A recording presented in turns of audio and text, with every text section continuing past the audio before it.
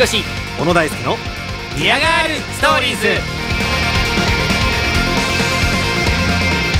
はいメリークリスマス神谷博史です。はいはいメリークリスマス小野大輔です。今回の DGS はクリスマス会でございますよ。ははいなんで我々ねあのサンタクロースの格好をしてお届けするというね、まあ、毎年恒例ですな。もうバッチリ着込んでますよ。はい、だからなんでこの格好をしなきゃいけないのかとかっていうことをもう何の疑問も持ってないもんね。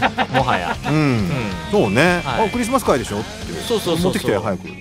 感じで、まあ毎年新しいのを買うことに関しても何の疑問も抱かないもんね。おおっつって。今年も新品だわ。っつって、ねもう気持ちがいいもんだねなんつって、ねえ。そうなんですよ。うん。でも確かに俺今改めてうん。ちょっと疑問を呈したいかもしれない。何何何？なんで着るのこれ？え？これなんで着るのいやそれはもう14年前の俺たちに聞けよ、あの時か。うん、あの時になんでっていう話をしてちゃんと答えを出しときゃよかったんですよ。うんうんでも出さなかったんだよね。あのあの時は流されてたんだ俺ら。そうだね。人気者になりたい一心で。ああサンタの格好をして写真撮ってなんかあげたりしたらバズるんじゃねえかってさあー浅はかなことを考えてたんだよ。本当にこれで人気者になれますか、なれるよ。なれるよ。じゃあ来ますみたいな。ことだよ。くそそれを何の疑問も思わず我々はもう来てるわけだよ。そうだね。ね？今年もね。あはいはいはい。ちなみにね毎年新しいものに買い替えてる理由はね、うん。あのークリーニングに出すとその方が高いからだよ、うん、1年ね着ないで置いとくとねすんげえ臭くなんだってこれ。うんうんうんうんうん。うんなんでそれをクリーニングに出したりするよりは新しいものを買った方が、えー効率的だということで毎年新しいものを用意していただいています。あ理由がまたねはい、あんまり良くない理由でしたね。ええ。うん。あのパーティーグッズなんで超安いっすこれ。ってことだ。ええ。僕あのタンクトップの上にこれ着てますけれど、はい。ちょっと肌寒いですからね。薄いんだよ。ええ。ちなみにさ他の番組ってこういう格好してやんの？えない。でもほら映像付きのラジオとか結構今あるじゃんよ今よくあるよね。みんなあの女性声優とかやってんでしょ？やってんだよね。やってねえの？やってねえの？ぼ帽子ぐらい。え帽子ぐらい？ええセクシーサンタの格好しないの？話が違うじゃないか。嘘だろ？え？しないの？サンタガールになってないの？サンタガールになれよ。むしろ。ミニスカでね。そうだからみんな見るんじゃねえの？ああとあの全身スーツのトナカイとかもピチッそれはディレクターが着るんだろ？そういうことか。そういうことじゃね ああでも正しいなんか、ん。なあのアニラジな気がするねそれはね。えのでしょ？うんうん。そうじゃねえんだ。じゃねえんだな俺たちな。なんで俺たちますますこの格好してるか分かんなくなってきたなちなみにね小野さんはですね、はい。なんと今日とか明日とかですね、うん。えオレパラでうん。両国国技館に今寝ているというあ 状態です、あそう時間的にはそうえですね、えもうなもうそろそろ、ん。えー土俵の上で寝てますね。そうですね。塩をまいた上で、そうそう。ええ。しあ思考を踏んでから寝てますね。四股を踏んでから寝てますね。ええ。えがっぷり四つね。さあ今日も頑張ろう。ということで僕とあなたの物語「ディアガールストーリーズ。第715話。ダウン皇帝今年もダウンを買う」結果買ったの？買った。買っちゃった。買った。あらそう。真冬用のやつ。真冬のやつ買っちゃった。俺これほらまた色違い。なんでまた買っこたれあのね業者かえ？ユニクロのリサイクルダウンの色違い。これ本当はオレンジ買えばよかったなもういいよ。この番組はアニメのミックスの提供でお送りします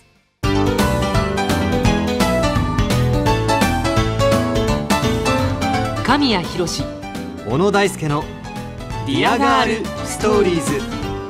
改めまして神谷博史です四股踏んじゃった。小野大輔です。ではリスナーから届いた普通ストー紹介。お前だからそれを言うとさ何が？オープニングのやつがさ編集できないんだよ。いやだからさん編集で消す気満々だったのに編集？お前が余計なことを言うから面白いとこじゃないいや面白いとかじゃないんだって。あそこが一番面白かったもんだっ 違う違う。てオープニングトークの全然もっ中でと面白いとこあったからいやいやあそこいやいやいや。は別に編集しいやいやいやて消せばよかったの。なんでで消すんだもお前が四股ん踏んじゃったっていうふうに言ったらもうあそこ生かさなきゃしょうがないじゃん。生かすよ。もう計算狂っちゃったよ。計算ああもう。何が計算だ。え？ーあ面白が正義だよ。面白を発信していこうよ。結果俺も怪我することになるんだからそうすると。お前も。もういいよいいよいいよそれで。クリスマス会なのにいいの？それでみんなが興味を持ってくれてうん。俺バルの配信を見てくれればそれでいいんだよ。それでいいのか。でしょじゃあ皆さん見てください、えー頑張ってしこ踏んでますからね。はい。えーディアネームはちみつ生姜のど飴さんからいただきました。亀谷佐野さんこんばんは。こんばんは。えー先日 YouTube にて MOB ツアーファイナルのダイジェスト映像が公開されましたね。あそうなの、うん。えーリアルタイムで参加していた時はライブを楽しみつつもコメントを送っていたので聞いてはいても皆さんの一瞬の表情を見逃していた場面もあったと思います。12分のダイジェストではありますが公開していただきとても嬉しいです。ありがとうございます。欲をいればフルで見たいです、そして個人的な話ですがブルーレイレコーダーを購入したので、えーツアーファイナル上のテレビ画面で見楽しみたいですと。なので円盤化お願いいたします。とのことです。いいありがとうございまます。はあ YouTube にて MOB ツアーファイナルのダイジェスト映像。うんうんうんこれ編集版っていうことですか？それとも頭から流して12分間みたいなこと？編集して。編へえあそうなんだ。おーそれ見れば大体わかると。どんな感じで編集したの、M1M2 あーじゃああれか。大団円で終わるとこまでだね、うん。あってことか。そうだね。ああいいじゃない。えいいパッケージじゃないそれ。えいいじゃない。ね。えそれだけ見ていただいてもえ構わないまあまあそうだよね。あとは打足みたいなもんだもんね。あそこでクライマックスだもん。そうね。うん。いいね。そういう見方できるって。じゃあ盛り上げていくぜ。じゃあ2曲目聴いてくださいっつってフォーエバーノースかかって。そうね。うん。思い出思思いい出出が思い出とか流流れてでしょ。超絶エモいとこだよね。むしろあそこまで見ていただいてよいいライブだったって終わっていただいた方が、うん。後味はいいかもしれない全ね然いいよ、いいね。うんうん、そういう感じの映像だったんですななるほどね。YouTube を活用してますなやっぱり。うん。MOB さんはね、うん。ねえまあどうなんですかね。ブルーレイレコーダーを購入したので家で見たいというふうな意見もありますよ、うんうんうんうんうんええ。まあその意見はまあなんとなく聞いときましょう。ね。なんとなく。なんとなく。なんとなく聞いええとくんだ、もう何でもかんでもさ言われるがままにさやってると大変なことになっちゃうのよ。いやーでもさ確かにそうだよ。よくわかんないうん。ほら女の子がネットでさ可愛い子ちゃんのさ感じのさ写真を上げててさだんだん薄着になっててそのうちおっぱい出しちゃうじゃん。意味わかんねえなと思って。言われるがままにさ望まれるがままにさ なんか見せてるとさ結果おっぱい見せちゃうんだよ。何やってんだって思わない？そうだあねーだろ？なんか口車に乗せられてずっとサンタクロースの格好して俺たちみたいなもんか？それは。そうそうそうそう。うん俺たちはサンタの格好だからいいけどさうんそうなっちゃうんだよ。だからもうはちみつ生姜のど飴さんがなんか円盤化とか言ってっけどそういうのはもう話半分に聞いとかないとそのうち俺らも こ見せることになっちゃうから。もうそれだったらもうおしまいだろ？なあ、何もかもおしまいだよ。そうだね。もう終着点だね。そう多そうそう。ね。コンテンツとしての。そういうわけにいかねえんだよ。うん。だからお前らの言ってることを全部聞くってことはないから。残念だったな。そうだね。あはい。えーというわけで引き続き皆様からのふつおたお待ちしております続いてはアニメ専門エンタメサイトアニメロミックスの中にある女の子のためのスマホサイト Dear Girl 情報です。ほいアニメロミックスでは僕たち2人が出演しているテレビアニメ「おそ松さん」第3期のエンディングテーマあら。「 Max Charm Faces 彼女は最高うん」が好評配信中ですうん。フルサイズをダウンロードしていただいた方に待ち受け画面をプレゼントします、うん。ぜひチェックしてください続いてテレビアニメ「進撃の巨人 The Final Season」のオープニングテーマ「神聖かまってちゃんの僕の戦争」のテレビサイズが好評配信中です。ぜひチェックしてくださいね。そして「ディアガールストーリーズ」のコーナーでは番組のレポートと写真を掲載しております。 Dear Voice の着信ボイスも好評配信中。アニメロミックス Dear Girl へはスマホからアニメロで検索してください。アクセス待ってます。ニコニコチャンネル DGS チャンネルの登録も受付中です。有料会員になると番組のアーカイブやおまけ放送 DGS 裏談話室が聞けます。さらに加工音源のプロデューサーズカットバージョンも配信。現在2007年5月12日放送分まで公開となっています。やめろ！チャンネル登録よろしくね。では一曲お届けしましょう。マズスティックオールバンドの八木橋プロデュース楽曲です。メリークリスマス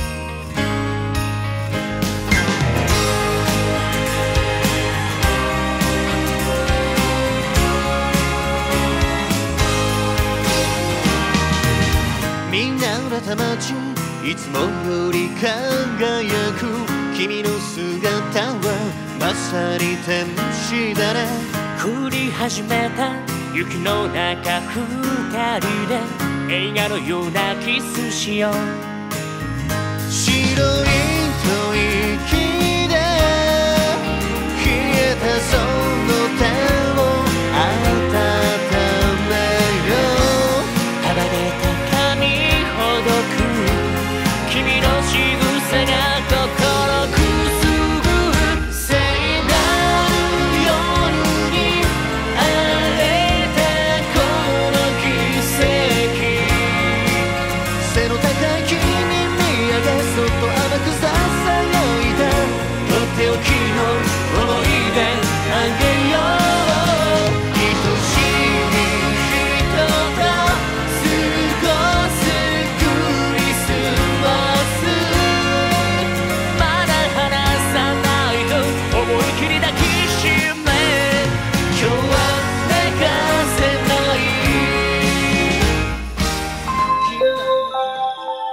神谷博史小野大輔のディアガールストーリーズ。クリスマスプレゼント企画。第14回。どうしてもゲットしたいストーリー。略して DGS 親愛なるたった一人のあなたに1年間の感謝の気持ちを込めてお届けするクリスマスプレゼント企画はい。今年も、えー僕たちそして番組スタッフから素敵なプレゼントの数々をご用意しました、はい。今年で14回目です。歴史あるね。はい、まあいらない ものを持ってきましょうっていうそれをね、えー闇雲に送りつけましょうっていう企画なんでございますけれども。うん。いやー今年やばい。何がですか？いや今年やばいっすよ。やっぱりねコロナっていうね、あはいはいえー年なんで、はい。もう景気よく行こうじゃないかともう薄暗かったですからあーなるほどね。もうクリスマスのこの日ぐらいねあそうだね。景気よく行こうじゃねえかっていうことでまあこぞって家にあるいらないものを持ってきたらですねうん。あのスタジオの一角がですね金持ちのマンションのゴミ捨て場みたいになりまして。や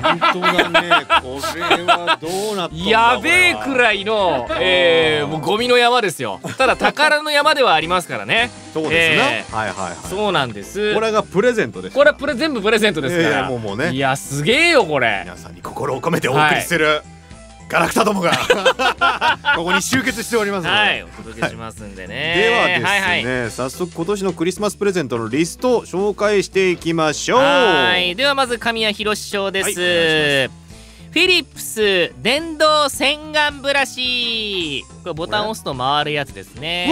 優しく顔を洗ってくれます。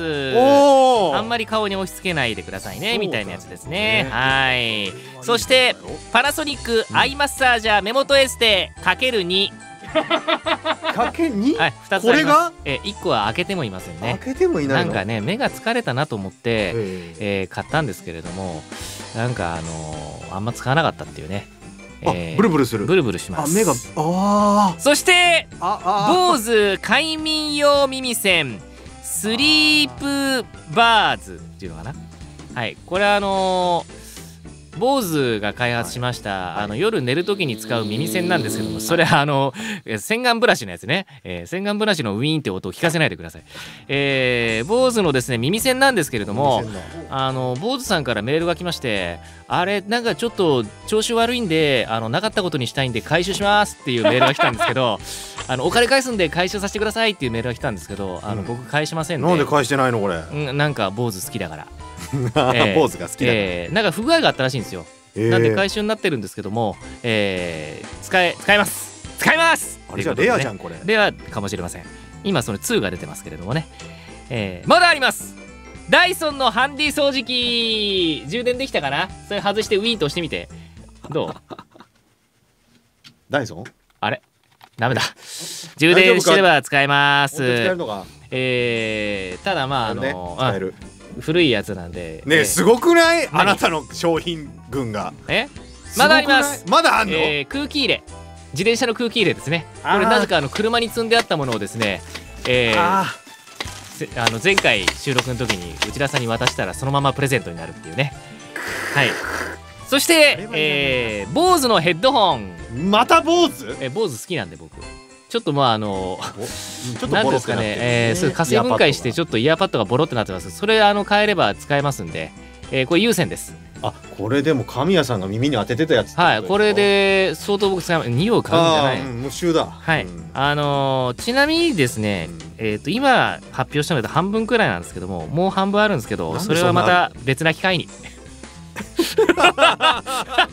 ここぞとばかり。どんだけ持ってきたんだって話なんですけど。あのあれで大掃除でしょ？だから。うんうん違うよバカ。大掃除じゃん。目についてこれはいつかまだ使えそうだけどいらないなと思ったものを全部袋に入れて大掃除じゃん。だから。まだ使えるんだでも本当は。すげえな。いやでもえー確かに使えます。うんうん。もうもう今年はもう大盤振る舞いしようじゃないかってことで持ってきました、いやすごいよ。ええ。うんまあ、他にもいろいろあるんですけれどそれはちょっとまたおいおいじゃあ続いて 小野くんお願いします、えー、僕ですか、ははい。いえー小野大輔賞でございます、うん。まずはですねなんと豪華車のハンドルカバー。はい。ハンドルカバー？ハンドルカバーでございます、もうねこの名門ブランドスパスパルコ。スパルコ。スパーコのハンドルカバーです。うん。これ私ですね、うん。まあ自分の車用に買いまして、うん。取り付けてみたところ、なんとですねドライブフィーリングがですね、うん。普通の乗用車からトラックになるというですね、えー思ってたのと違うということでですね一回しか使っておりません。あらあえーなのであげちゃう。らあげちゃう。あげちゃう、はい。あなたもトラックフィーリングね。はい。そしてですねもうえーっともう一つがですねこれだ。サウンドプロデューサーは？ストップウォッチです。いやそれお前ラジオマンにとっては絶対必要なもんじゃねえか。俺は使ってねえけど。ラジオマン必須のこのね、サウンドプロデューサーまあ小野君この番組でストップウォッチ使ってないからね。何をおっしゃいますえ？二つ持ってる？持ってきてはいるんですよ。持ってきてるな。大事に持ってきてる。そうだね大事に持ってきてるけどあとね押してないじゃん。FM では使ってる。FM で使ってんの？え横川さん何？こいつは何？FM ではストップ使ってんの？それ役に立ってんの？割とね。役に立ってんだ。割とね、へえあそうだよ。うんうんうん。で2個ある理由はですね、なんで2個あんの？1個は、その昔あのラジオディレクターさんにもらったやつなんですこれ。うん。よっかさんにもらったの。うん。これこれ大事にしてた。うん。でこれが一回ねスタジオに忘れてっちゃったうん。らしいんですね。はい。でなくしたなくしたと。僕はでも1ヶ月ぐらい経って、うん。はあもうなくしちゃったんだと、うん。本当に申し訳ないと思いながらでもサウンドプロデューサーを買おうと思って、うん。だこれはねアマゾンで買ったんです。はそしたらねあのー、2ヶ月後ぐらいにこれお忘れになってましたっつって。ああ出てきたの？はい。ラジオでゲストに行った時にその現場に忘れてたらしいと。ははい。えなんでお前ラジオのゲストに行ってなんでサウンドプロデューサー出すんだよ？え？っと緑川さんとうん。内田悠馬くんのうん。ラジオだったんですよ、うん。ヘブンズってあの、えー歌プリの、うん。うん、ああこれ俺があのタイムキープしないとダメかな、まあ確かにその二人ポンコツだから。ね僕いやそうはうん。そうは言ってないよ。その二人ポンコツだよどう考えたって。そう緑緑川さんなんてボケることしか考えてないじゃん、まあそれは否めない。話全然聞いてないしいやいやいやいや。自分がおいいかに美味しくボケられるか考えてないじゃんめちゃくちゃ面白かったですよねその時も。俺はだからその時に出してそのまんま忘れてっちゃったらしくてでダブってんすだからで回収できたのね。1個あげちゃうあげちゃうあげちゃいますそして構成スワ賞です、はい。コートハンガーの第1名様です。えーっとねえー？マジでかいやつだわ、えー、何これ、えー使いづらそう。まあそうだね。165センチぐらいの高さの、うん。えーコートハンガーです。まあ多分玄関先とかに置いとくといいんでしょうな。はい。えーそして続きましては、内田社長賞です、はいはい。スマートスピーカー LINE クローバー1名さんん？え？なんで？めちゃくちゃハイテクじゃんいいじゃないこれこれちなみにね AI を全く使いこなせなかったっていうふうに書いてあります。じゃあダメだ。えー、そうですね。あーあげちゃいます。買った方がいいはい。はい、あげちゃいます。そしてディレクター横川賞 YouTuber にもぴったり FM ピンマイク2個セット1名様。えー、なんで？結構いいやつじゃないの？これいいの？えー、なんでいいの？これ。あげちゃうの？あらそう FM ピンマイク。ええー、ー、ボボヤうん。ボヤっていうメーカーなんですね。聞いたことねえな。うん。これあげちゃうと。これあげちゃうと、あげちゃいます。いいの？いいの？はいはいじゃあ続きまして、うん。お手伝い伊藤賞はいはい。折りたたみ傘。いきなり普通になってるあでも豪華じゃん、えこれ？革の革っぽい袋に入ってる。あれ？すごいあすごいいいやつじゃん。ちゃんとしてない？ちゃんとしてるよ。あボタン一つで開く。あああれ？なんで中途半端にしか開かない？あおおびっくりした。これでもあれだね。日傘だね日傘にもなるやつじゃない？そうだね。あなんか。ちゃんと開いておかな？いちゃんとちゃんと開いてちゃんと開く、ちゃん。ちゃんと開けんのこいやだってボタン一つで開くだろそれ。れおうくん。いくよ。あ開いた。おーいいじゃん。多分ねそれ日傘にもなるやつじゃないかな。なんでこれあげちゃうの？うん。なくしたと思俺と同じパターンだよほらあった。あそういうことでございますなのでえー、まああげちゃうということでございます。はいワンタッチで開く多分日傘にもなるタイプの折りたたみ傘です。続きましてちゃんこしょうカジノゲームセット。何これ？あマジでカジノゲームセットじゃん。とね。ゲームスタジアムファミリーカジノというやつです。あルーレットついてるじゃん。番組で使ったのかな？そういうことか。もしくはあいつパリピだからもしかしたら家で遊んだかもしれないね。あいつあげちゃいます。はい 続きまして。東大院生うん。藤田賞でございます、えールービックキューブ。おうルービックキューブ。あ一面だけ合わせてあるじゃん。どうしたのこれ？2年経ってもできなかったんで。2年経ってもできない。でも一面揃ってんじゃん。ここまではできる。あでもそこまで揃えたらあとはできるよきっと。もう諦めた？もう2年経ってもできお前本当はバカなんじゃない あげます。続きまして、えー竹内翔です、えーマジックグッズとボードゲームゴブレットゴブラーズのセットです。あ今年はゴブラーズ？ゴブレットゴブラーズ。マジックグッズはまあいつものことですけどボードゲームが増えました。あー知ってる知ってるゴブレットゴブラーズちょっとやってみたかったんだよね。ああいうねアナログゲーム僕好きなんですよ。はい。えー、あれ知ってますけれどもどうやって遊ぶんだろう。ちょっと後で見てみこよう。れ興味深いですね。あげます。ははい。い、えー続きまして、うん。エクステンドタムタムショー。タムタムショー。プレイステーション3 1 名様。あいつはなもうゲーム機ばっか持ってくんな本当そうだついに一世代か。プレステ二世代3前ですよ。ええ。プレステ3の 80GB のあの初期型モデルですね。うん。初期型の形のやつです初期型の後期型です。だから多分 PS2 のソフトは起動しないやつだと思いますけどね。シルバーです。はい。ちなみにうちにも、えー、とプレステ34台あります。なんで1台ぐらい上げてもいいかなと思いますけどね。業者なの本当に。わかんないです。えあげます。はい。えー、最後です。ドワンゴショーです。えーパソコン用キーボード。うん。何これ？これ理由がですねカチャカチャうるさくてオンラインミーティング中とかだと使いにくかったっていうね、えー。えー、っていうキーボードでございます。以上です。いやいやいや相当ありましたね今年はね。えー今紹介したクリスマスプレゼントが欲しい方はメッセージにどうしてもそれが必要な理由を、えー書いて送ってください。はい毎年言っていますがこの企画抽選ではありません。はいどうしても欲しい理由を僕らが読んで選んで決めたいと思います。その通りでございます、なのでですね皆さん嘘はつかないでください。あそね。の商品が欲しいそのプレゼントがどうしても欲しい理由っていうのが皆さんの中にあるはずです、うん。でそれを僕らが見極めてプレゼントしますんでそのうんどうしても欲しい理由っていうのを嘘をつかずに書いてきてください、うん。ただ僕らは皆さんのことを信じています。そうです。はい。100%信じております。はい。はい、そしてここも大事です一人どれか一つのプレゼントしか応募できません。これは親愛なるたった一人のリスナーだろうがダメでございます。はい。本当にどうしても欲しいものが何かを考えてメールで送ってきてください。応募の締め切りは12月31日までです。あなたの住所氏名電話番号どうしても欲しい理由を忘れずに書いてください。宛先はエンディングで。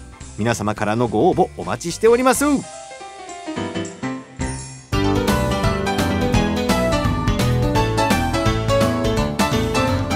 神谷浩史小野大輔の Dear Girl Stories。ディアボイス。番組から生まれた名言や僕らに言ってほしいセリフを募集しアニメイトミックスの中にある女の子のためのスマホサイトディアガールで配信していきます。今回は神谷さんのボイスを配信します。かおりんさんからリクエストいただいたこちらのセリフです。鬼嫁を元に戻す旅に出るあサラリーマン川柳大賞をね候補をねになっている、えー恥ずかしいですけどね。名作、引き続きこのディアボイスではあなたからのリクエスト待ってます。来週小野くんのボイスを配信します。お楽しみに Dear Girl Stories そろそろ今夜のストーリーもエンディングの時間になってしまいました。いやもうなんか雪崩のようにですねあの紹介してしまったので商品何があったか全然覚えてねえよっていう人もいると思うんですけどもあのースマホとか使える方がいらしたらですね内田さんのツイッターを見てください。あのそちらに商品の、えー詳細を上げたいと思いますんで。はい、えー。そちらの方で確認していただければもしくはあのニコニコチャンネルの方でね、えー放送聞いていただければあの YouTube の方でも、えー放送しておりますんでそちらの方でね確認していただければいいんじゃないかと思いますけれども。今年本当多いね。多いっすね。神谷さんの持ってきた量が尋常じゃなくてね。あダイソン使わないですね。皆さん使わない？使わないですね。充電できてないです、えープレゼントしますんでね、えーよろしくお願いいたします。番組では皆さんからのメッセージをお待ちしております。おはがきの宛先はこちら郵便番号105の8000に文化放送神谷博士小野大輔のディアガールストーリーズそれぞれの仮です。メールアドレスはこちらすべて小文字で dgs.joqr.net dgs.joqr.net です。ラジオ大阪の方もこちらからお願いします。どうしてもゲットしたいストーリーのプレゼント希望もこちらにお送りください。メールの件名はどうしてもゲットしたい2020でお願いします。そしてアニメのミックスの「ディアガールにも僕たちの番組サイトがあるのでぜひアクセスしてください。写真が見られます。さらにニコニコ DGS チャンネルの登録も受付中です。有料会員になると翌週火曜日におまけ放送 DGS 裏談話室が聞けます。そしてニコニコ動画と文化放送エクステンドの YouTube チャンネルでも番組のアーカイブ配信をしています。ということでここまでのストーリーテラーは神谷浩史と小野大輔でした。 Dear Girl Stories 第716話に続く